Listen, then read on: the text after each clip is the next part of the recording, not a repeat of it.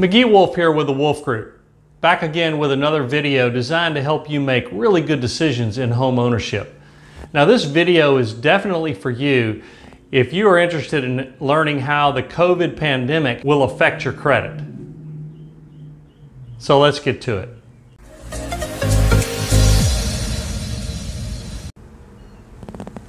COVID, COVID, COVID. That's all we're talking about. It's COVID all the time. Everywhere we look in the newspapers, on TV, in the news, it's all we talk about when we get together with people. It's everywhere. And people may wonder that I'm bringing the subject up as it relates to your credit. How could it possibly affect your credit? Well, you may remember uh, several videos ago when this first began, I was expressing some concerns about how the CARES Act would be impacting people. Now, the CARES Act, for a brief summary, was that act that allowed people that have loans, mortgage loans backed by Fannie and Freddie, to essentially not have to make a mortgage payment for six months and then also extend it for another six months. So a whole year without making a mortgage payment. And uh, that's a big problem. But for people that need the relief, who may have been displaced or lost their job or reduced hours and they really can't make their mortgage payment, I completely understand. But in the CARES Act, it says that you don't have to prove hardship.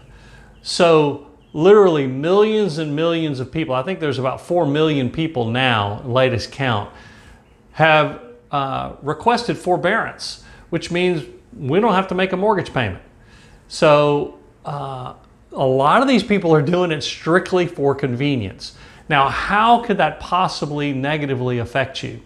Well, um, it's not supposed to affect your credit in terms of your credit score because it won't show you as being late. But you have to remember that investors are the ones who really drive this train.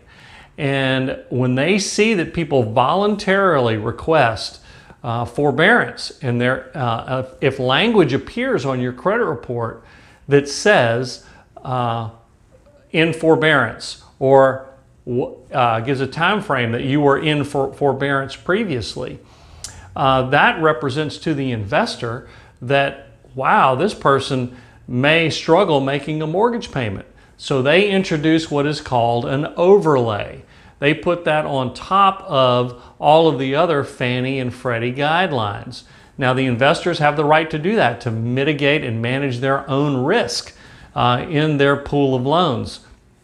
So now, what has been coming down is rules from our investors that are saying if there is forbearance language on the credit report, doesn't have to show you being late, remember that. If there's forbearance language, we can't do the loan we can't do a mortgage loan. And uh, down the road, they may come up with a time frame. You have to have uh, 12 months or 24 months seasoning since the forbearance period ended.